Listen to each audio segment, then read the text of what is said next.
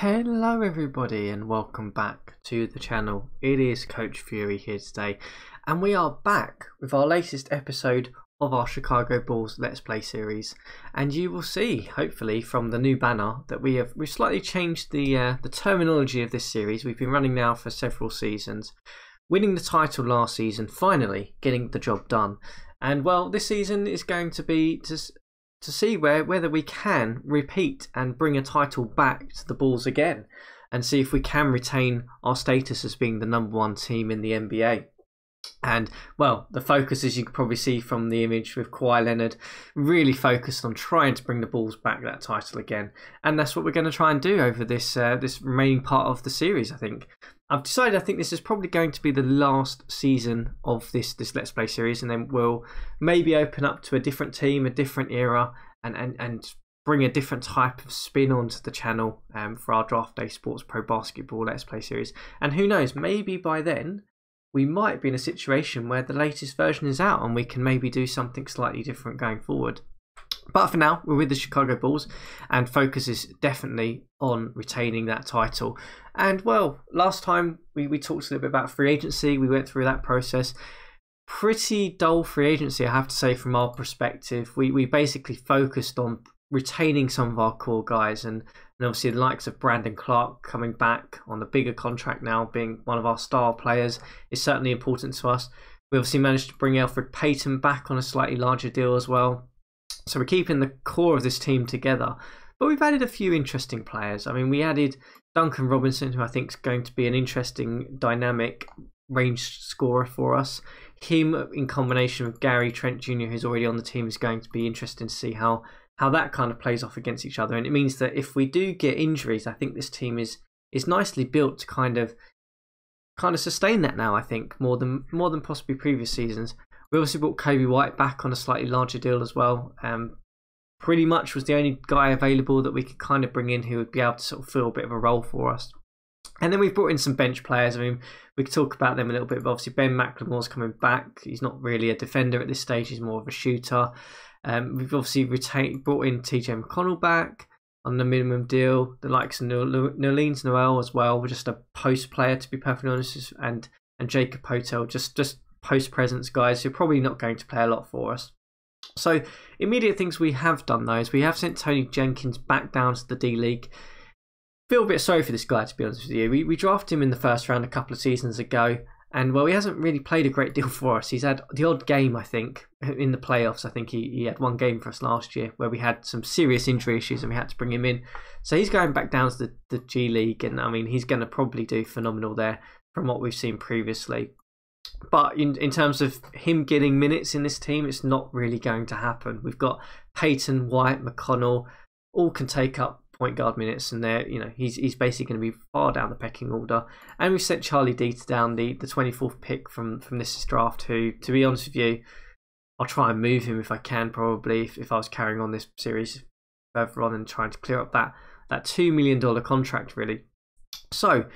In terms of the depth chart, I'll talk a little bit about that, and then maybe we'll go into sort of the, the magazine and have a little look and see how the other teams look for this episode, and, and possibly play a couple of weeks of the season.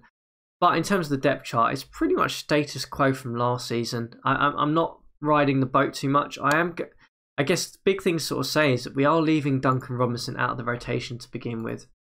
Reason being is I just want to keep that momentum going of this team, keep the forward progress going, and, and that was primarily around our starting eight, nine guys from last season. So obviously Payton, Trent, Leonard, Clark, Jackson all taking up the starters minutes. Then big minutes from Carter coming off the bench to kind of support the front court. And then McConnell and White taking up those guard minutes. And then Williams taking up a couple of power forward minutes this year, really. Um, we talked about him a lot, I think, over the past couple of episodes. But my view is I think he's going to be a good power forward in this league. I don't think he's he's really ever going to be a shoot a, a shooting guard or a small forward. And I think he'll be an undersized power forward. And I think he'd actually be a very good one at that because he's got good defensive ability. He can rebound pass the ball fairly well, good court IQ. And if you can see from his stats, his shooting numbers have improved, but mainly because he's he's, he's inside the paint, and, and that's where he's getting most of his buckets. So I'm going to use him there, and then it, basically that's kind of why we brought in Robinson, to be honest with you, because if we do get any injuries to sort of the wing players, um, you know, looking at Leonard, Trent, etc., then we've got Robinson who we can bring in and, and kind of use that, that that that talent we've got there. But for now, starting the season, I'm going to just run with what we had last season, and, and hopefully that keeps keeps the momentum going. As I said, we're obviously going to stay post focused, and we're going to stay passive on defense, and then the player matchups, we're just going to basically say Payton and, and Clark take premier players, everyone else take whoever you want. So in theory, that that'll keep us nice and tidy on our offense and defense, and we'll keep up that that elite elite performance on both sides of the ball we had last year. So next thing we should probably talk a little bit about is, is what the other teams look like because we've we've been going for a few seasons now and there's been a few changes and it's worth talking about that. So if we go to the Eastern Conference in the in the magazine preview, see obviously the the, the game has us logged as the number one team in the Eastern Conference and rightly so. We are the champions.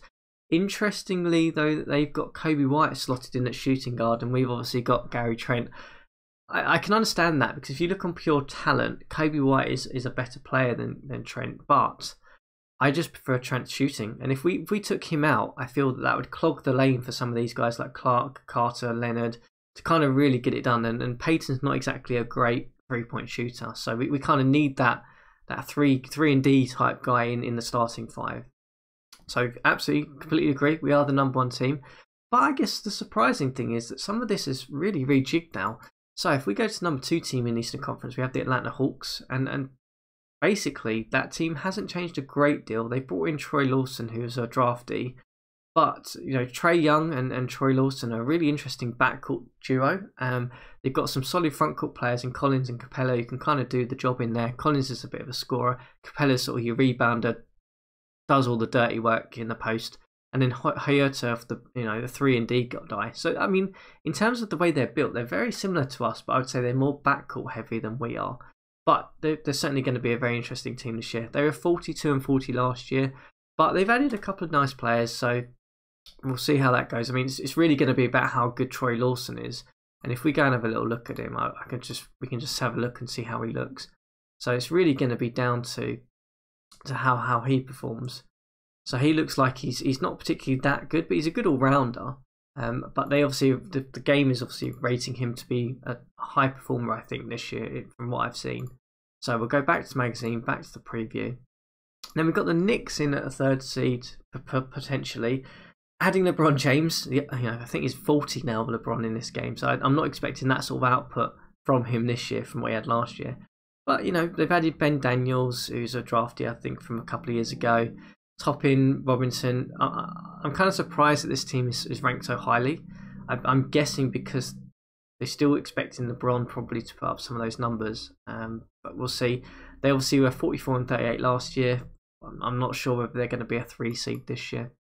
And then the Cavs have made a huge jump, mainly because I think Collin Sexton's just turned into an absolute beast of a scorer. Really, really good scorer now in this league.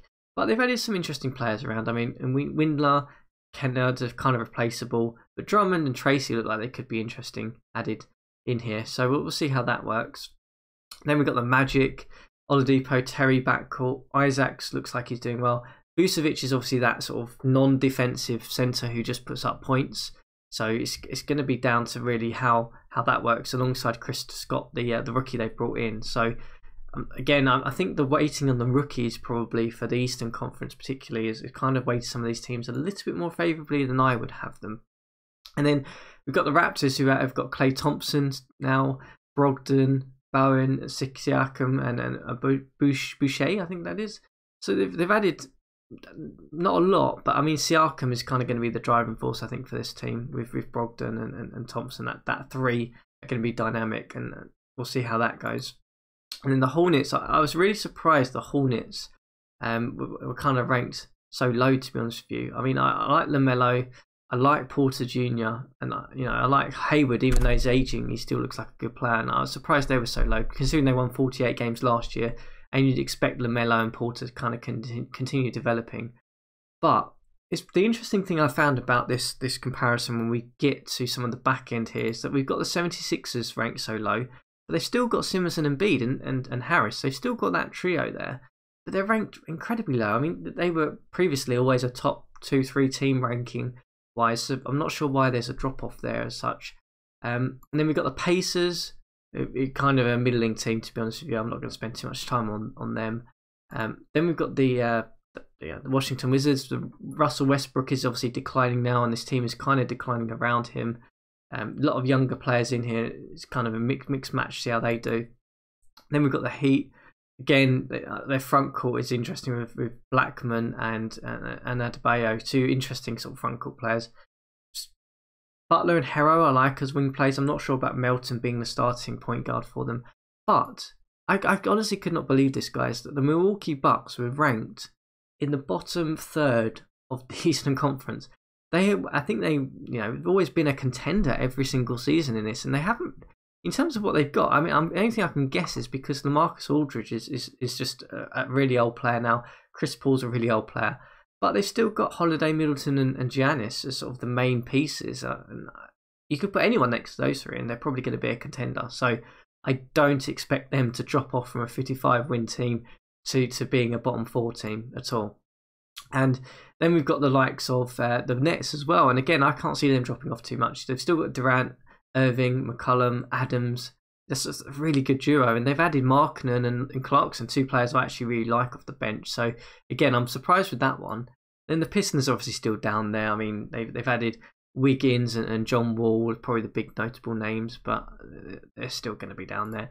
And then you've got the uh, the Celtics, who've been a bit of a downward trajectory since this this Let's Play series has started. I mean, they've got Tatum still, but outside of Tatum and Brown, I'm I'm, I'm not convinced that they've got much else. And then if we go over to the Western Conference, it's a little bit more of a status quo to the Eastern Conference. I think it, the, the Eastern Conference seems to have had the most change in terms of what the projection is in terms of how teams are going to perform. But no, no real surprise here that the uh, the, the Dallas Mavericks are, are the number one seed. Porzingis, Harrell, and, and Doncic are really good, and I really like Bridges and Davis as the supporting pieces in their starting five. So fully expect them to be up there. Could be their season this year. I mean, Doncic looks like an absolute phenomenal player now. But then you've also got the Pelicans who've made a huge jump. We've got Ball um, and Williamson, obviously two key players. LaVine, who we traded there. I mean, I, I like this team all around really. I'm not sure about Pro, Pro Poropat, um, how he how he looks, but I really like everything else they put in. They brought in Bogdanovic as well, so they brought in a shooter, and and they've still got Rubio off the bench and Tristan Thompson. So they've got pieces. I think they're going to be a very good team this year again. And then we've got the Golden State Warriors who have gone for a bit of a transition, but I that backcourt, even though they're both aging now, I mean Curry and Beal is just going to be lights out, and then fully going to be a very very good offensive team. Wiseman inside, I think the Golden State Warriors are going to be an elite team this year as well. Then we've got the Jazz, pretty much status quo. Not a lot has really changed here, so I'm not going to comment too much on them. They're probably going to win 50 plus games again. Like the front back, I like the front court. Um, I, I, Mitchell's still phenomenal. And then the Suns have probably had a bit of a drop off because obviously Chris Paul has declined and been and been moved on now. Still got Ayton, still got Booker, who are kind of the main pieces here and we'll, see how that looks with with Courtney Tuck, the rookie, starting in at power forward. Probably going to be a little bit more of a downward decline from 51 wins, but we'll see. The Timberwolves are sort of been where they kind of have been for most of this Let's Play series, to be honest with you. Karl-Anthony Towns is sort of the biggest piece. D'Angelo Russell is sort of also there. And I, I don't know how they're going to do, to be honest with you. Depends on how those two do, I think. Then we've got Oklahoma. There's not a lot to say about them. They're going through a bit of transition see how they look. I mean, I'm surprised Jabari Parker got paid so much in the off season, uh, but there we go. The Rockets are an interesting one as well. I think they are a middle team now, even though they've got Jokic and Harden. I, I think on on any given day, this team could upset anyone in the league. But I'm, I'm not convinced with Mobley playing in, in sort of the powerful position for them. I think that was a bad move bringing him in. So we'll see how that goes. Then we got the Grizzlies. Uh, Ja Morant's still performing phenomenally well, but there's just not a lot of support around him, unfortunately. So that's why they are in the middle. Same with the Kings. I mean, I like Whiteside and Fox, but uh, I'm not convinced on the rest of the rotation here. And then the Trailblazers are down the bottom. It's basically Lillard and then and then whatever else they can kind of piece together at this point. I mean, Lillard's getting paid so much money. I'm sure that the, the AI is struggling to try and put together a roster here anyway. And then we've got the Spurs who are still down there. Not a lot to say about them, to be honest with you status quo. But the Lakers have had a bit of a drop off. Obviously, LeBron has gone now, but you know this is definitely Anthony Davis's team now, and it's Anthony Davis plus other pieces to see how that works. I don't think they'll decline as much as is predicted here. I mean, they only won 27 games last year, which is, is just, I couldn't believe that when I looked at that. But I fully, I'd, I'd expect them to be just below 0.500, even with Davis. Getting more of the ball, maybe. The Nuggets, obviously, 44 win team last year, but they did lose, lose Jokic, and I think that is going to be the key that's going to drop them down. And then the Clippers are down the bottom. Not really surprising. They lost Kawhi Leonard to us a couple of seasons ago now and and then obviously Paul George is still here. So we'll we'll see how it goes. But for me, I think the Western Conference balance that the magazine has got is I think is fairly reflective. I'm not convinced on the Eastern Conference though, so we will we'll see how how that pans out. But I think what we'll do for the remaining couple of minutes or so is let's just let's get some games done. Let's just try and get ourselves through a bit of the season and see how we get on. So we're going to do a bit of a fast sim, I think. We'll um, we'll sim through maybe try and get a month done. I think let's try and get ourselves to sort of the middle of November, and then and see how we get on. Hopefully, we won't have too many injuries. We won't necessarily stop on any action emails. I will just quickly check the inbox, see what else we've got here. So we've had all of the training camps and drafts and things. I've, I've done all that already. Let's get ourselves going. Let's get some games done and see how we actually do stack up this year. Can we retain the the title? Can we look like a a team up the top, or are we going to sort of have a bit of a downward spiral? We will see. So we've got Robinson who suffered a, an injury there right away. Let's go and have a look. I mean, he's not in the rotation anyway, so we can just. He's out for eight days. We'll just drop him out of the rotation, I think.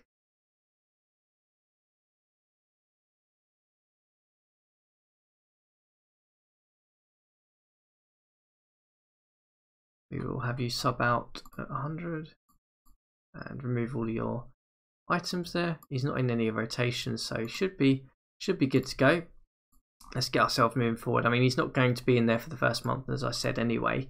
I really want to just get this team flowing and hopefully get some wins on the board before we start messing around and including players who, who possibly weren't here last year. So Alfred Payton suffered an injury. I'm not sure how long he's out for. He's out for 14 days. Oh my goodness me. Okay. So I think we're going to put White in at point guard. Payton, you're going to come down the pecking order, I guess. Here, in terms of point guard minutes, you can just suck all of these up. I really, really do hope with the new version of Draft Day Sports Pro Basketball that they add a better way to micromanage minutes in rotations because at the moment it's just it's just a bit of a pain. It really is at times. So I mean, who are we going to put in now? I, I, guess we can just give those minutes to to McLemore, I guess for now. And yeah, if the garbage minutes, he can play. Yeah, and you can play point guard. And let's let's go from there. So we've got 14 days to kind of get through before he comes back. So I mean, we'll go to the 7th of November, shall we, and just and see how we get on. So we're 4 0 off the start of the season. We're in, we're in good shape so far. Suffer our first loss to Brooklyn and a second loss. And Coby White has got injured. Fantastic. So our two sort of point guard players are injured. He's out for 14 days as well. Great. So that means probably McConnell's going to have to come in. I think we might have to bring Jenkins back out of the D League. I think that's that's what we're going to have to do. I'm I'm I'm not going to delve in and try and bring someone in from from the uh, the free agency wire. I don't think at this stage. Let's just bring him back from from the D League. I think. Okay, back you come. And I think we'll just give him some minutes. As I said at the start of the episode, wasn't planning on using him at all, but clearly, um, clearly we're going to have to now. So really testing the depth of our point guard position now at this stage.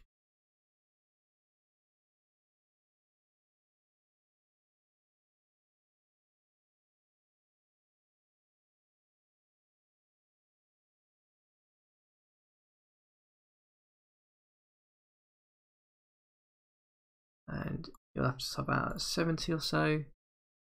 Move these guys back up a little bit. And Robertson come back up a bit. And I think that is everything. Oh, we got to put what? Someone in a shooting guard off the garbage minutes. Let's just put Trent in for now. And we will carry on. See if we can get a few more days done, at least get ourselves into sort of the middle of November, I think would be a good good start to the season, see how we get on and, and reflect on that. So we managed to get ourselves a win again against Toronto and we lose against Orlando 5 and 3. So a little bit of a, a tougher start than we'd anticipated, I think. But we've had a couple of early injuries, so 7 and 3 is not bad. I will certainly take that. 8 and 3, 9 and 3, so we're in, we're in good shape. Hopefully, I'm not sure, we'll check if anyone's back. So everyone is back, so we can certainly restore the lineups. Bring Payton back in, McConnell back up, and we're going to give Williams a few minutes in a power forward. So you can a breather there. And some White's minutes we've got to assign to someone. We'll assign them We'll give uh, Robinson his first stint now. I think we've been on a good run, but we can we can certainly bring Robinson in at this stage, and we will make sure that he's actually going to be able to play some minutes.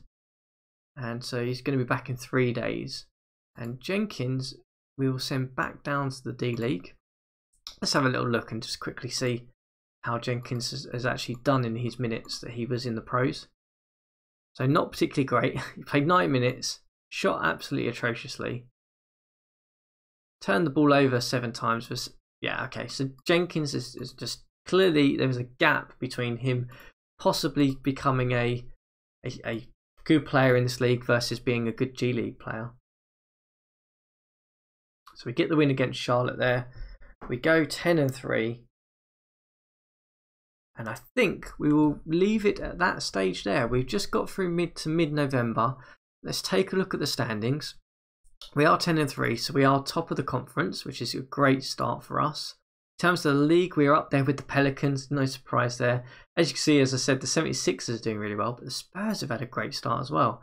In terms of our insights page, we are second in offense. We're struggling on defense, but our net rating is still still phenomenal. And how have the players been performing? That's the question. So Payton is still putting up good numbers good because he's earning his money now.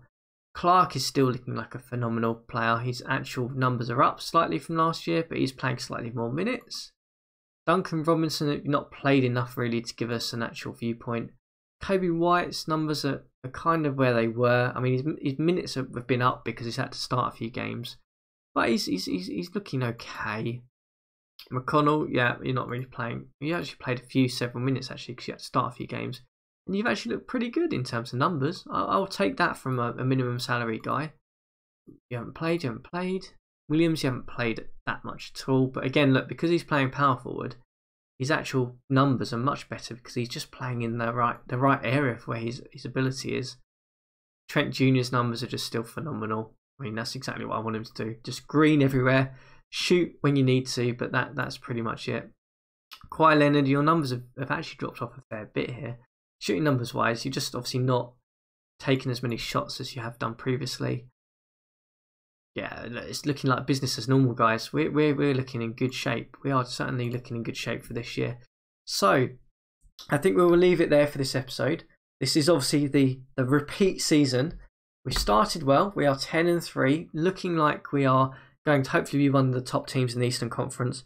But we will come back next time and see how we get on with some of the, the remaining bulk of the uh, the fixtures before the uh, the All Star game and, and the trade deadline, etc. And we'll maybe have a little bit of a think next time as to whether we want to maybe put some trade bait up, maybe throw a, a first round pick out there if there's anything that's of interest, and maybe just hopefully put us over the top again this year. But interested to hear your thoughts. How do you think the season's gone so far? 10 and 3 in good shape. We've had a quick look at some numbers, very high level, but we've had a couple of injuries looking good. Always interested to hear your thoughts.